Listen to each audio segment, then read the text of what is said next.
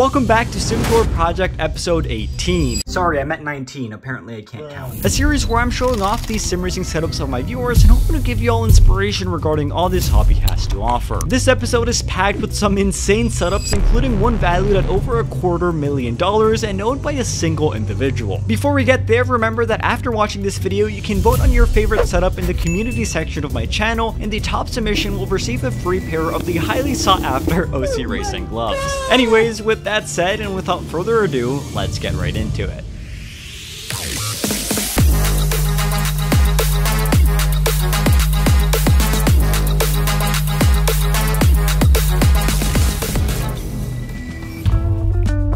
Starting off extremely strong, we have Matthew, a 43 year old who works in sales and seemingly does a great job at it, considering that he can afford this $8,000 sim racing build along with a 2020 M5 comp he parks right outside.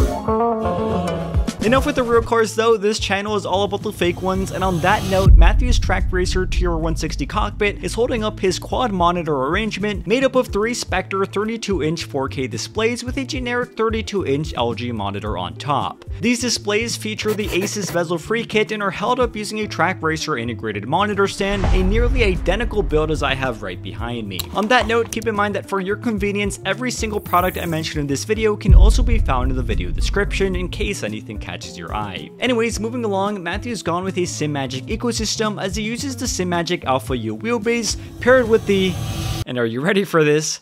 the Simagic GT1 steering wheel, the Simagic GTC steering wheel, the Simagic GT Neo steering wheel, the Simagic FX Pro steering wheel, and the Cube Controls F-Core steering wheel. With the combined value of those wheel rims, you could probably buy yourself like a 2005 Honda Civic, but if you do want to take the route that Matthew did here, you should protect your expensive sim racing wheels with a Sim Shield wheel cover, available at sim-shield.com or now on Amazon.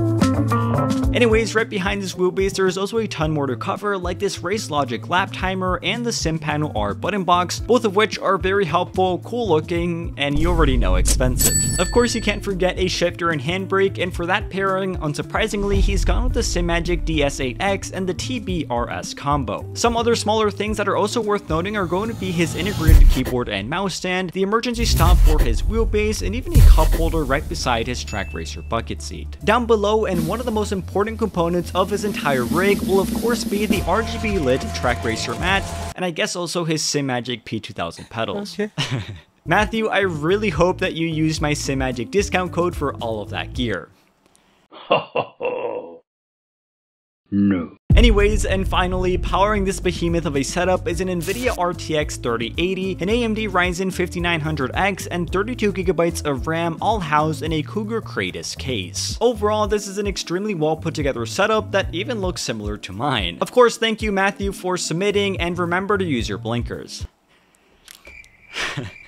Up next, and continuing with the extremely impressive builds, is Matt from Ireland who has taken a way different approach with his setup. At only 16 years of age and a full-time student, Matt's simulator is fully enclosed with a PVC pipe structure and black fabric all around. As you can see from his onboard, this helps keep all the light out and the immersion at its highest. Also, further helping with that will be the interior lighting that he's fitted at the top, along with the wind simulator and safety harnesses all working together to create the most realistic experience possible.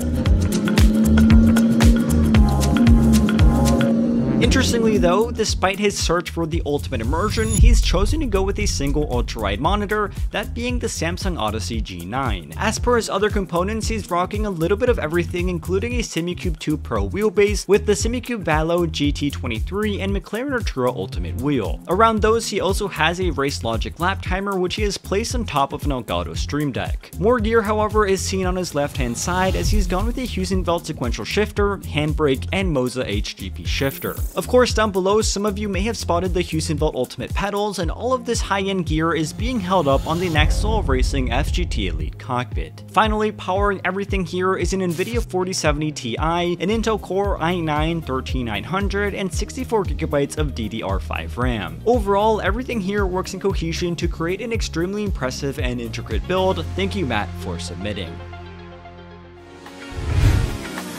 And now taking a look at something a little bit more realistic, we have Elias, a 13 year old from Denmark who claims to have spent $5,000 on this setup. At this point, I don't even know if you guys are just throwing out these numbers as like a joke, But anyways, he does have a pretty solid rig for someone his age. Starting off, he's rocking two AOC 144Hz monitors on the side with a 24-inch 165Hz display in the center. These monitors are being held up with what he claims is a random triple monitor mount, and it ultimately does look really good. He has them placed only millimeters on top of his Moza R5 wheelbase, which he uses with a Moza ES wheel with the Formula mod. Continuing along with the Moza ecosystem, you'll also find the SR-P Lite pedals down below, and all of this gear is being held up on a GT Omega Apex wheel stand.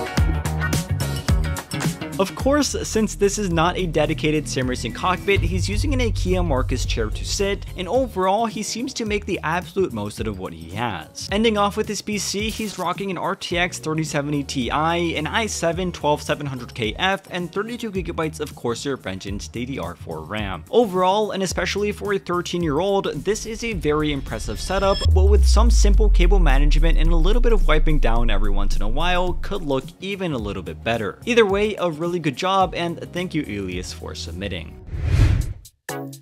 And now moving on to another realistic but extremely clean sim racing setup, we have Andres, who without needing to spend a small fortune, has put together one of the slickest builds I've ever seen. Starting off, and for his chassis, he's gone with the Rig Metal aluminum profile cockpit with an NRG Innovations bucket seat. On this, he's gone the Fanatec route with the 8mm CSL DD with the Fanatec CSL BMW and Club Sport Formula wheel. Down below, he continues with Fanatec as he's got the CSL pedals with the load cell brake attached, and back on top top, and one of the staples of his setup will be the massive 34-inch 144Hz screen being held up by the Next Level Racing freestanding single monitor mount. His PC has a dual function as it's used for both his rig as well as his regular computer setup, and it features an AMD Radeon RX 5600 XT, a Ryzen 5 3600, and 64GB of RAM all housed in a case that he doesn't remember the name of. Bruh. Overall, while the gear that Andres is using here isn't particularly mind-boggling, the way he has diligently done his cable management and keeps everything tidy, not only on his rig but also on his entire room, makes it look extremely good. So good that even his dog Code Cody can feel right at home just sitting there. Anyways, congratulations on the rig and the overall room setup. Thank you, Cody, for submitting. Uh, I mean Andres, but I think we all prefer Cody. And now it's time for what we've all been waiting for, and this is without a doubt the most insane submission I've received to date, and unless like a Formula 1 team were to submit photos of theirs in the future, I really don't see how this thing is ever going to be beat. Sent in by Andy, a 46 year old engineer from Finland, this setup has been fully funded by himself and has set him back 350,000 euros. He claims that this rig is primarily intended to show off the LED technology of the screens, but it's also used as a charitable donation to help Finnish drivers hone in their training. The chassis here is made from a genuine Aston Martin GTE cockpit and is placed on a custom-made 4DOF motion platform featuring PT actuators with a 300mm travel. Inside the cockpit, you'll find literally everything that you would expect, including a ton of carbon fiber and an Aston GTE steering wheel on a Simucube Ultimate wheelbase. On top of that, he's also got a ton of other accessories like a Race Logic lap timer, an SRS dual fan wind simulator, a V Telemetry Pro motorsport screen, and a BDH Bazooka H pattern shifter next to a SimTag handbrake. Unfortunately, Andy did not include any photos of the pedals used in this rig, but he did mention that they are custom made based off the Tilton Racing 850 series racing pedals. And if all of that wasn't enough for the immersion, this rig is also fitted with a PT actuator Tension R active seatbelt mechanism, two Dayton BST1 shakers, and even a broadcast system to live stream and record races. Now I know very little, if not nothing, about commercial LED panels, but Andy mentioned that there are 180 individual cabinets with 360 LED modules, altogether being 2.5 meters tall and providing a 180 degree field of view. I don't think it's of any surprise that this rig is worth several hundreds of thousands of dollars, and as you can imagine, it's powered by a top of the line PC with an RTX 4090 an Intel i9 14900K, and 128GB of DDR5 Vengeance RAM. Overall, this is a simply ridiculous setup which I would love to one day experience myself. Thank you Andy for all the effort that you've put into this rig, and of course along with the submission. So with all of that said, this wraps up SimTour Project episode 18. Remember to vote on your favorite setup in the community section of my channel, and if anything caught your eye, you can also find it in the video description. With all of that said, however, as always, thank you all for watching, stay safe, and have a fantastic rest of your day.